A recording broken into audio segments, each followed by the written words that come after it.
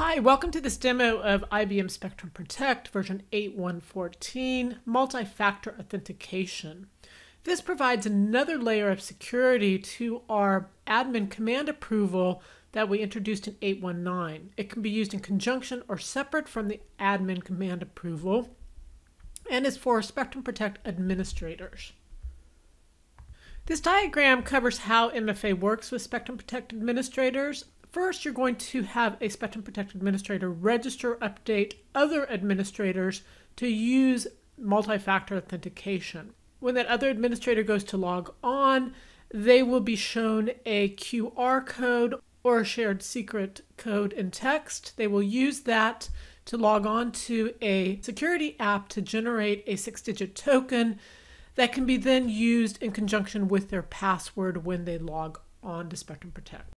So the MFA is set up by an administrator for each of the administrators they want to turn MFA on for. And that's with either the register administrator or update administrator command.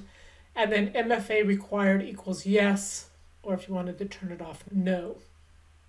There's also this shared secret equals command if you do want to utilize the same shared secret for multiple Spectrum Protect administrators. And there is a reset shared secret option if you want to reset a shared secret because, for instance, you lost your mobile phone where the application was that was storing that. You can issue a query admin format equals detailed. If multi-factor authentication required is set to no, that means it is not required.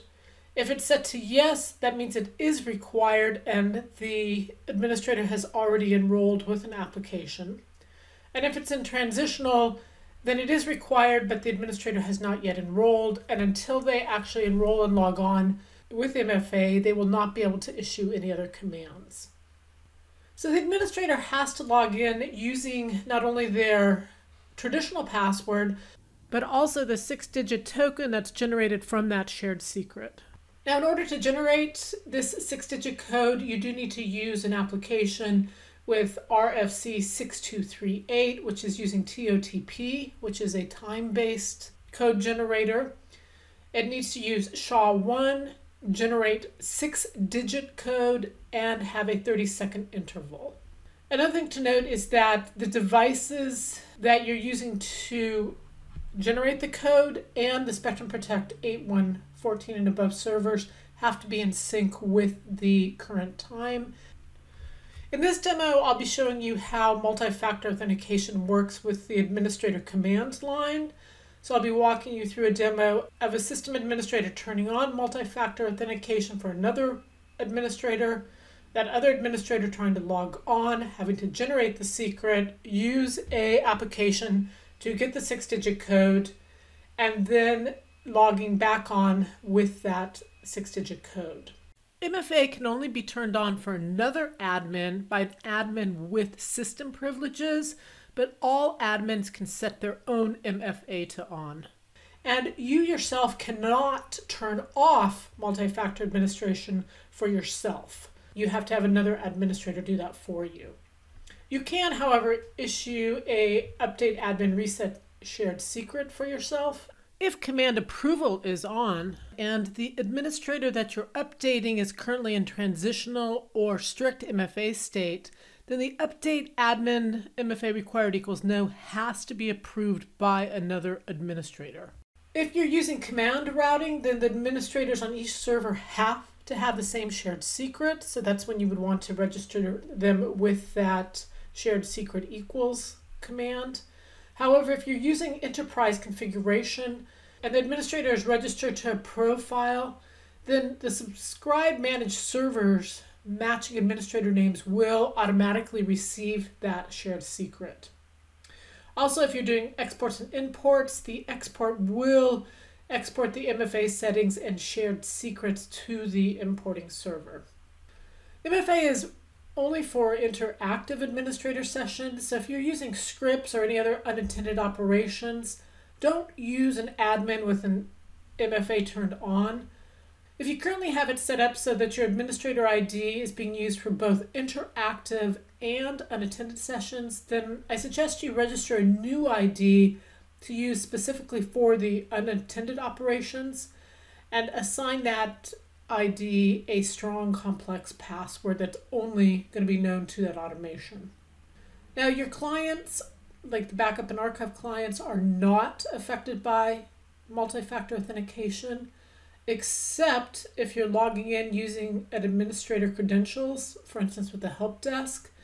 Then the administrator is required to use MFA and append the six digit code to the end of the password, like you'll see us doing in this DSM ADMC command line. Okay, with that, let's go ahead and get started with the demo. The first thing you're going to need to do is find a multi-factor authentication application that supports RFC 6238, where you have set the authentication to TOTP, which is a time-based code generator. You've chosen SHA-1 and six digits and a 30 second intervals for the codes. So make sure you've selected all of those options correctly.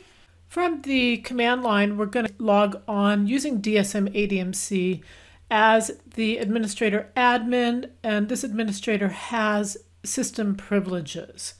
MFA is supported with the DSM ADMC version 8.1.2 and above, or version 7.8 and above, as long as it has the new SSA authentication.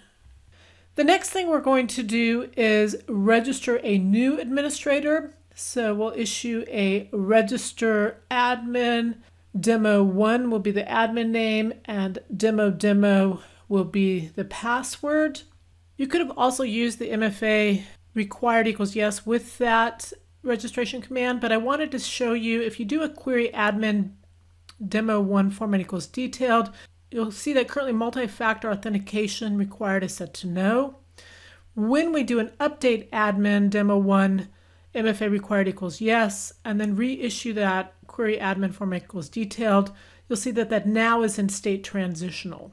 So in order to exit state transitional, the Demo 1 administrator needs to first log on to Spectrum Protect. So we'll do a DSM ADMC dash ID equals demo 1, password equals demo demo.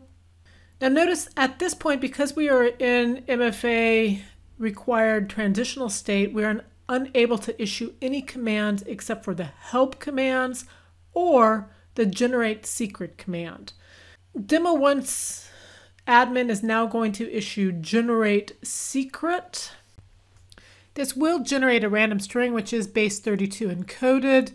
It will also have a OTP auth format. So the OTP auth format is a URI, which includes the secret, and then other things that the app is going to need in order to generate the six digit token. And that'll include that the algorithm is SHA-1, that the digits is 6, that the period is 30, and then the OTP auth indicates that it is a time-based counter. Now most apps just want the secret, which you see here on the top. And so once you copy that, you'll go ahead and log out of Spectrum Protect with a quick command. Now you're going to open up the multi-factor authentication app that you're going to use to store the secret key. You'll Specify that you want to create a new account and enter a key. You'll then type in the key that showed up when you entered generate secret. You'll then be asked to enter a name for this account, which is saving the key. So we're going to call it IBM Spectrum Protect. And then you can generate the six digit code required for logging on to Spectrum Protect. The code is good for 30 seconds, so you'll want to issue DSM ADMC ID equals demo one dash password equals demo, demo, followed by that six digit key with no spaces. You don't have to use the dash password option. You could just respond to the password prompt with the admin password followed by the six digit token. Now you are successfully logged on to Spectrum Protect and you can now issue commands like query admin demo one format equals detailed. And what you'll notice here is that your multi-factor authentication is now set to yes, meaning that it is enabled. and that you have used the secret password to enroll in a multi factor authentication to generate a token, which you've then used to successfully log on with. You will be required to enter the tokens each time you log on. So, here, if you quit the program, the next time you go to log on, you're going to have to look at your application, access the current token, and then enter that current token into your DSM ADMC command when you do your log on. Okay, I'm going to quit from demo one and log back in as the admin. I want to show you how to do a reset shared secret. You can issue the update admin, in this case demo one, reset shared secret equals yes. This will reset the shared secret that demo one had stored in their app. So, for instance, if the administrator demo one lost her cell phone, you would need a new shared secret. The demo one admin could enter this command, but the reason I'm having the administrator admin enter it instead is I can do a query admin format equals detailed and show you that the demo one is now in transitional state. Remember that when an administrator is put in the transitional state, the only commands they can enter are help commands and generate secret commands. Okay, so let's quit out of this administrative session and we're going to relog back in as the demo one. So DSM ADMC ID equals demo one. And we'll put in the original password of demo demo. And because we're in transitional state, that's all we need at this point. Now, demo one administrator will need to issue a generate secret command. I'm going to go ahead and copy the secret. And this time I'm going to go to a different program and show you how you can generate a QR code instead of having to manually type in that long secret. So from this FreeOTP two-factor authentication site, I'll first of all give it a name. By default, we use IBM Spectrum Protect. And then for the account, if you have multiple IBM Spectrum Protect account, you might be specific and give it a different name. For instance, we could call it Demo 1 because this is for the Demo 1 administrator. You'll then paste in the shared secret that we generated with the generate secret command. And at that point, you will have a QR code that you can scan with your phone app. When I go to add an account and scan the QR, it automatically finds the IBM Spectrum Protect and Demo 1 information, and then it generates a code. I'm going to then take that code and go back to the command line and issue a DSM ADMC dash ID equals demo one dash pass equals demo demo and then the six digit code. If demo one issues a query admin, demo one format equals detailed, they will see that they are now multi-factor authentication required equals yes. A couple other things. If Demo 1 tries to update their admin to have MFA rec equals no. This will fail. You cannot turn off MFA requirements for yourself. You would have to have another administrator do that.